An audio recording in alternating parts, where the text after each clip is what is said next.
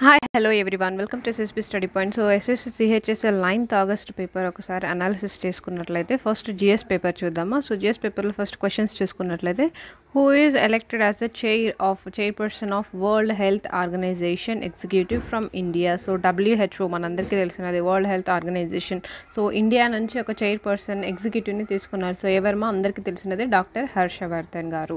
ఓకేనా so doctor Harshavardhan. Next మనం చూసుకున్నట్లయితే chew valley so chew valley గురించి అడిగారు. అంటే మనం నైబరింగ్ కంట్రీస్ ఉంటాయి కదమ్మా. సో అక్కడి నుంచి అడుగుతున్నారు చూడండి. ఒకసారి దీన్ని మీరు అనాలిసిస్ చేసుకొని ఒకసారి మీరు కమింగ్ అప్ ఎగ్జామ్లో ఉన్న వాళ్ళు వీటిని రిమైండ్ చేసుకోండి. సో చ్యూ వ్యాలీ సిచ్యువేటెడ్ మనకి కజకిస్తాన్లో ఉందన్నమాట. ఓకేనా? క- కజకిస్తాన్లో ఉంది. సో నెక్స్ట్ మనం చూసుకున్నట్లయితే Senthil revolt so Senthil revolt గురించి అడిగారు. సో సెంతల్ రివాల్ట్ అనేది మనకి జార్ఖండ్లో జరిగిందేమో. అంటే లైక్ జమీందారీ సిస్టమ్స్కి అండ్ ఈస్ట్ ఇండియా కంపెనీకి ఎయిటీన్ హండ్రెడ్ అండ్ ఫిఫ్టీ ఫైవ్లో జరిగిందనమాట సెంతల్ నెక్స్ట్ మనం చూసుకున్నట్లయితే who was the youngest player to debut in the test matches ఈ క్రికెట్ గురించి తెలిసిన వాళ్ళకి ఈజీగా ఐడియా ఉంటుంది. Youngest player debut in the test match మనకి Hasan Raj. So Hasan Raj age approximately fourteen years plus ఉంది మా. అప్పుడు పాకిస్తానీ ప్లేయర్ అండ్ నెక్స్ట్ మనం చూసుకున్నట్లయితే Pir Panjal located in which pass so Pir Panjal మనకి జేఎన్కే జమ్మూ అండ్ కాశ్మీర్లో ఉంది. So అది ఏ పాస్ దగ్గర ఉంది మనకి? బనిహల్ పాస్ నెక్స్ట్ మనం చూసుకున్నట్లయితే how many years Pakistan remain united after independent before Bangladesh was formed అంటే మనకి ఇండియా పాకిస్తాన్ డివైడ్ అయినప్పుడు ఇప్పుడు మనం బంగ్లాదేశ్ పిలుస్తాం కదమ్మా అది కూడా పాకిస్తాన్ అనే పాకిస్తాన్ కిందకి వచ్చేదన్నమాట. సో ఆఫ్టర్ ఇండిపెండెన్స్ తర్వాత పాకిస్తాన్ ఇటు సైడ్ ఉన్నది ఇటు సైడ్ ఉన్నది బంగ్లాదేశ్ సో రెండు ఒకటే అనమాట కానీ నైన్టీన్ హండ్రెడ్ అండ్ సెవెంటీ వన్లో బంగ్లాదేశ్ విడిపోయింది. అది కూడా ఇండిపెండెంట్ అయిపోయింది అనమాట సో ఎన్ని సంవత్సరాలు అప్రాక్సిమేట్లీ పాకిస్తాన్ బంగ్లాదేశ్ యునైటెడ్ యునైటెడ్గా ఉందంటే ట్వంటీ ఫోర్ ఇయర్స్. ఓకేనా? నెక్స్ట్ మనం చూసుకున్నట్లయితే largest valley in India so మన ఇండియాలో లార్జెస్ట్ వ్యాలీ ఏందిమో మనకి? కాంగ్రా వ్యాలీ ఓకేనా? ఎక్కడ ఉంది మనకి హిమాచల్ ప్రదేశ్లో ఉంది. పైన కొన్ని మెటల్స్కి సంబంధించి ఏదో ప్రాపర్టీస్ ఆ టైప్ ఆఫ్ క్వశ్చన్స్ అడిగారు. సో ఒకసారి మీరు అది కూడా ఒకసారి చెక్ చేసుకోండి. అండ్ నెక్స్ట్ మనం చూసుకున్నట్లయితే కంప్యూటర్ రిలేటెడ్ ఒక క్వశ్చన్ అయితే డెఫినెట్లీ రైజ్ అవుతుంది. సో ఈరోజు ఈ రోజు ఏమంటే స్టోరేజ్కి సంబంధించి కంప్యూటర్లో ఫస్ట్ ప్రైమర్లీ ఫస్ట్ స్టోర్ అయ్యేది మనకి ర్యామ్లో స్టోర్ అవుతుంది ర్యాండమ్ యాక్సెస్ మెమరీ నెక్స్ట్ మనం చూసుకున్నట్లయితే స్పిన్ ఘార్. సో స్పిన్ ఘార్ అనేది ఎక్కడ ఉంది అంటే మనకి ఆఫ్ఘనిస్తాన్లో ఉంది. ఫైన్ నెక్స్ట్ మనం చూసుకున్నట్లయితే వైట్ టైగర్స్ ఉంటాయి కదమ్మా వైట్ టైగర్స్. సో ఇది మనకి ఎక్కువ వీటి నుంచి ఒక క్వశ్చన్ వచ్చింది వైట్ టైగర్స్ గురించి. సో మాక్సిమం వైట్ టైగర్స్ అంటే ఎక్కువ మధ్యప్రదేశ్లో ఉంటుంది. ఆప్షన్స్లో ఒకవేళ బాంధవ్ గారు ఉంటే అది మాక్సిమం కరెక్ట్ ఆన్సర్ అవుతుంది.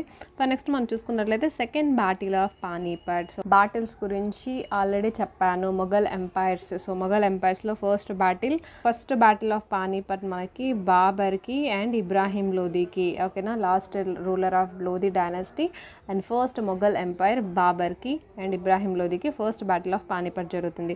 So second battle of Panipat ఎవరికేమో Hemu and Akbar. Actually Akbar ఆదేశం ఇస్తే మాన్సింగ్ వెళ్తారు. సో ఈ స్టోరీ మొత్తం నేను ఆల్రెడీ మొఘల్ ఎంపైర్లో చెప్పాను. అది ఒక్కసారి చూస్తే మీకు లైఫ్ లాంగ్ గుర్తుండిపోతుంది. So second battle of Panipat మనకి ఫిఫ్టీన్ హండ్రెడ్ అండ్ ఫిఫ్టీ సిక్స్లో జరిగిందనమాట. Fine international tea day so international tea day మనకి ట్వంటీ ఫస్ట్ ఆఫ్ మేలో సెలబ్రేట్ చేసుకుంటారు.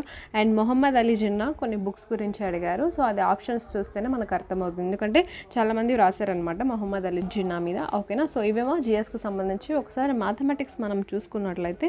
సో మ్యాథమెటిక్స్లో ఫస్ట్ మనం చూసుకున్నట్లయితే ఆల్జిబ్రాయిక్ క్వశ్చన్ మా. ఇక్కడ చూడండి డెఫినెట్లీ ఆల్జిబ్రాయిక్ నుంచి A plus B A minus B square cubes వీటి related definitely one or two questions అయితే రైస్ అవుతాయి సో ఇక్కడ చూడండి X plus two Y equals to nineteen X cube plus eight Y cube equals to three sixty one then X Y values ఈ so మనకి formula గుర్తుంటే ఒక సెకండ్లో మనం ఆన్సర్ అనేది ఆన్సర్ అనేది ఫైండ్ అవుట్ చేయొచ్చు మా just A cube plus B cube formula ప్రకారం so A plus B into A plus B whole square minus three AB so వి ఫార్ములాలో మనం ఇది చెక్ చేసుకున్నట్లయితే మనకి ఎక్స్ వై వాల్యూ ఈజీగా ఫైండ్ అవుట్ చేయొచ్చు. సర్కిల్ గురించి ఇచ్చారు. సో టూ సర్కిల్స్ ఎప్పుడే కానీ మనకి ఎక్స్టర్నలీ సెర్చ్ అయినప్పుడు ఒక పాయింట్ దగ్గరే మీట్ అవుతుంది. సో వీటి సెంటర్స్ యొక్క డిస్టెన్స్ వాటి రేడియస్ యొక్క ప్లస్ అవుతుంది. ఓకేనా? అదే ఇంటర్నలీ టచ్ అయినప్పుడు మనకి వాటి సెంటర్స్ యొక్క డిస్టెన్స్ మనకి R one minus R two అవుతుంది. ఓకేనా? సో ఇక్కడ వాళ్ళు ఒక రేడియస్ ఇచ్చారు ఆర్ వన్ ఇచ్చారు eight.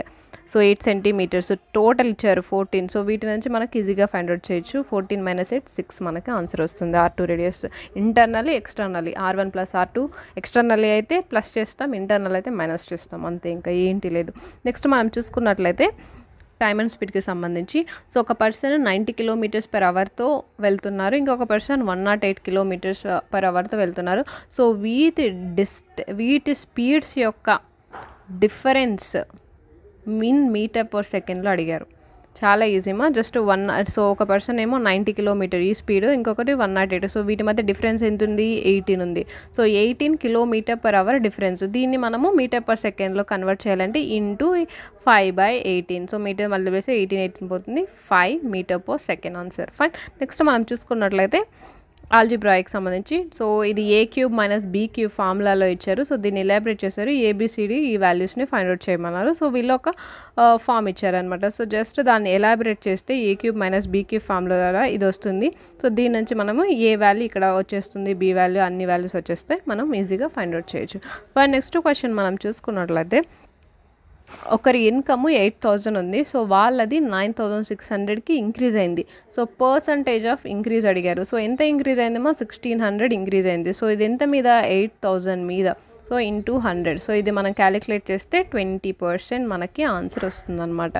సింపుల్గానే ఉన్నాయమ్మా మ్యాథమెటిక్స్. కొంచెం ఏదన్నా హార్డ్గా ఉంది లిటిల్ బిట్ డిఫికల్ట్గా ఉందంటే మనకి జనరల్ అవేర్నెస్ ఎక్కువ కరెంట్ అఫైర్స్కి సంబంధించి ఎక్కువ అడిగారు.